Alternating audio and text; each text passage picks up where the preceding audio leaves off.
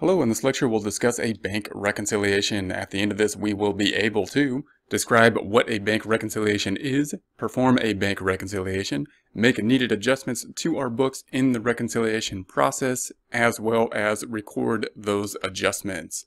So this is going to start off the bank reconciliation process. We'll start off with, of course, the bank statement.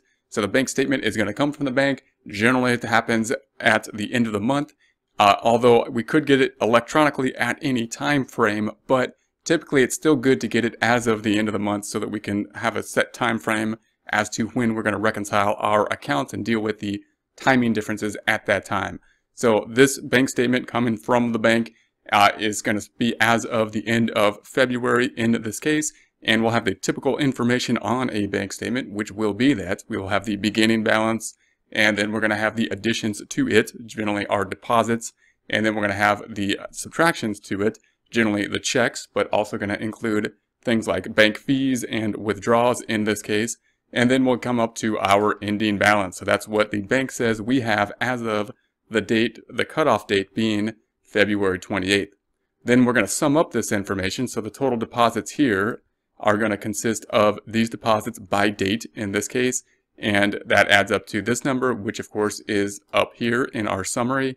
We also have the checks, we have the date, we have the check number, we have the amount, as well as the other information that is coming out of our bank account, a withdrawal, such as an ATM withdrawal in this case, and a bank service charge of a couple dollars. That comes up with the uh, amount that is going to come out, and that will give us the ending balance. We're going to compare the bank statement uh, to our books. So notice what the bank statement is doing. It's recording all of our transactions. This is exactly what we record in our books. The bank is doing it again for us, and the bank usually does a very good job of doing that. So the purpose of a bank statement is really to tie out the bank's records to our records, thereby uh, giving us a second check, an assurance that we have recorded everything correctly. Now this is the second hugest type of check that we have other than the double entry accounting system itself in order to guard against making errors on our transactions.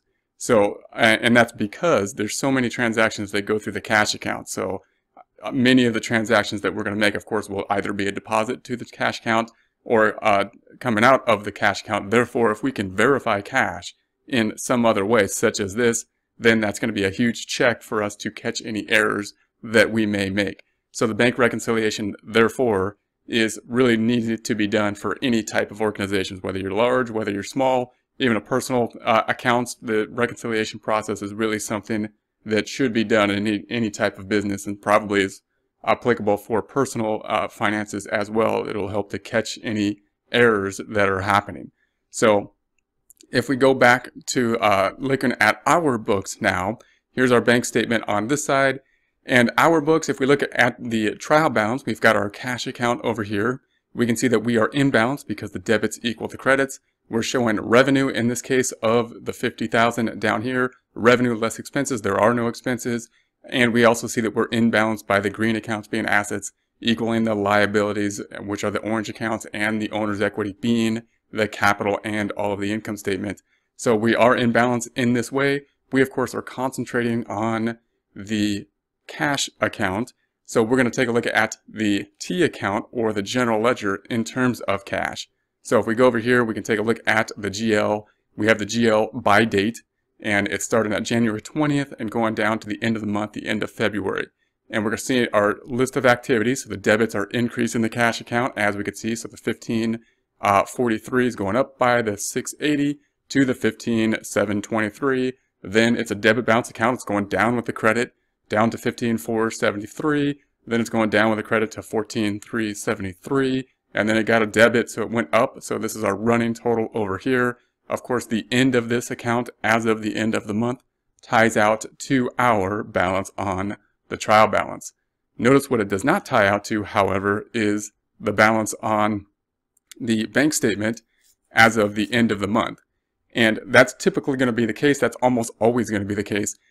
And that doesn't necessarily mean we made an error. Even if we recorded everything perfectly, there still would be a timing difference because it is a timing difference. Meaning, uh, if we write a check, then that check is going to come out of our books right away. So for example, this check here, this 250 that was written is going to come out of our account as soon as we wrote it, which was on January 23rd. But it needs to go through the mail. It needs to be picked up by the recipient of the check who then needs to take it to the bank. The bank needs to then contact our bank. So it's not going to clear until a later date. So we recorded it correctly. We want it on our books as soon as we write the check. We want to record that. But we can't verify that it's been cleared until it clears the bank, which in this case happened here on uh, February 2nd. So that's going to be the idea. And that's what's going to make the difference that will always be there. So we expect there to be a timing difference. Also note that the beginning balance here, this 1543, does not equal the beginning balance or the ending balance as of January, which would be the beginning balance as of February, which is 14273 on our books. And that's because of the timing difference of the last month. So notice that if we took out these three transactions and we were up here, which on our books was before January 20th, then we tie out. So we see that we tie out here. And that's when we reconciled last month, we had these three transactions outstanding. So when we then reconcile this month, we expect that these three transactions have cleared. And then we're going to go through the our current transactions and see what has cleared and see if there's anything then that is outstanding. So that's the process that we're going to take a look at now. So let's go ahead and do that. Uh, if this is a computer uh, system, we generally do the same thing. If we had something like QuickBooks, it would basically give our beginning balance, and it, then we would take our bank statement, and we're just going to tick and tie everything off. And so uh, anything I see over here, I'm going to say, there it is. It cleared the bank at 2-1. Here it is over here. It cleared our books. It was still outstanding as of the end of January. Now it has cleared. That's good. Then we got the 500. I'm going to see if I can find it over here. 500 on this side. I see the 500 deposit on this side, therefore it has cleared. I'm going to check that off. So here's the 420, here's the 420. Once again, we wrote it on February 20th. It cleared on February 21st. These are deposits. We would expect them to clear within three days. Uh, realistically, at this point, probably sooner than that, probably like a day, they should they should be in there if they're a deposit. Checks, on the other hand, typical to have them be longer than that. Here's the 510, here's the 510. So we've checked all those off. Let's take a look at the other side of it. And we have the check. In this case, it cleared on 2-2, check number 5005 or 1005. And in this case, we wrote it on January 23rd. Notice we have a longer time frame between when we wrote it and when it clears. That's going to be typical with checks. If checks are outstanding for a longer time frame, not, not a, a problem usually. That's usually normal. So then we're going to have the 1002 here we wrote it on the 31st. It was outstanding as of the end of last month. It now has cleared in this month, in February. And then we have a, a check that we wrote for 75 on February 10th. It has now cleared on February 13th. Here's a check for 250 and uh, we wrote it on February 12th. It's cleared on uh, February 15th. So we've tied everything out now. Now we've found everything on the bank that we could on our uh, book.